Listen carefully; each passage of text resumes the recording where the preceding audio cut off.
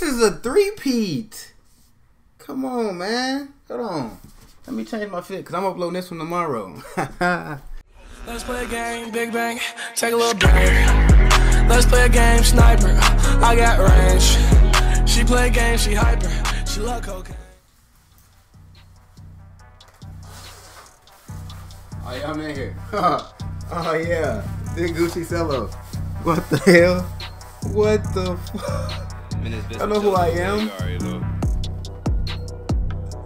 Hey, look at that. Come on, like, bro. Alright, look.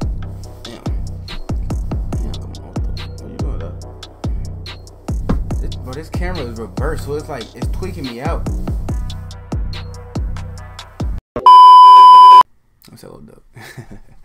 Alright, look. We got uh something about cocaine. I ain't, I ain't read it. Oh yeah, 600 pound cocaine dealer, too big to fit in the courtroom. He is sentenced from the back of the ambulance.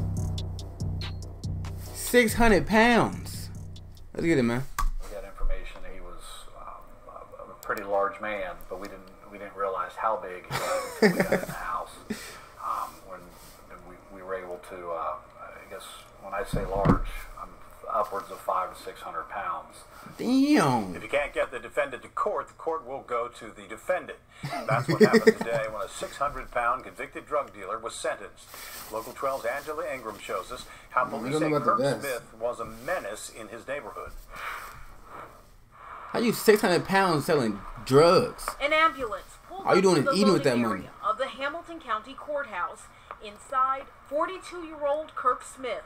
Court had to come outside to him, and that's where Smith was sentenced for trafficking in cocaine, weapons under disability, and other drug charges. Uh, we received a Crime Stoppers tip and some input from the community that an individual up on Rosewood and Hartwell, um, the activity was consistent with drug trafficking.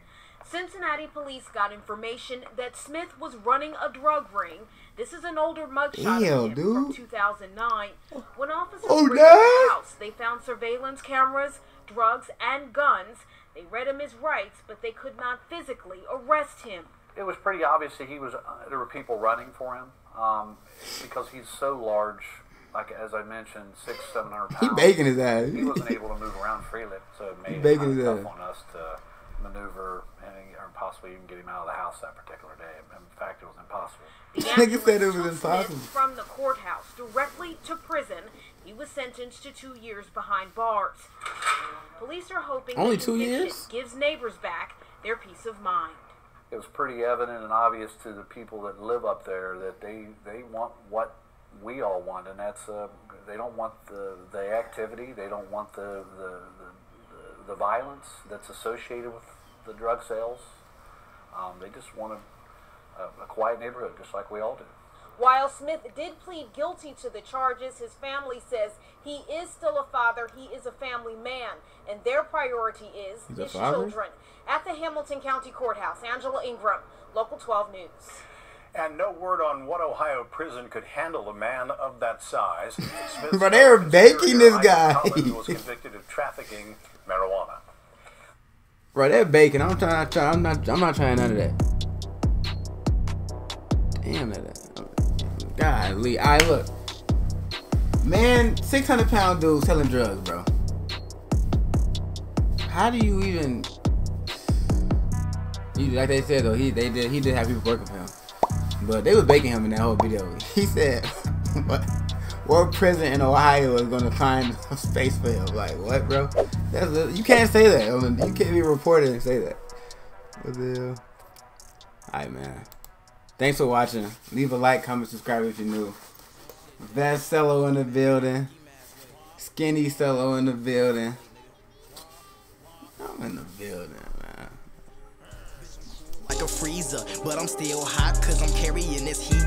Catch me in that thing, switching lanes, I'm a creature. I'ma text these niggas who be asking for a feature. Hey, it's nice to meet ya. Now I'm finna rob ya. I was eating noodles, now a nigga eating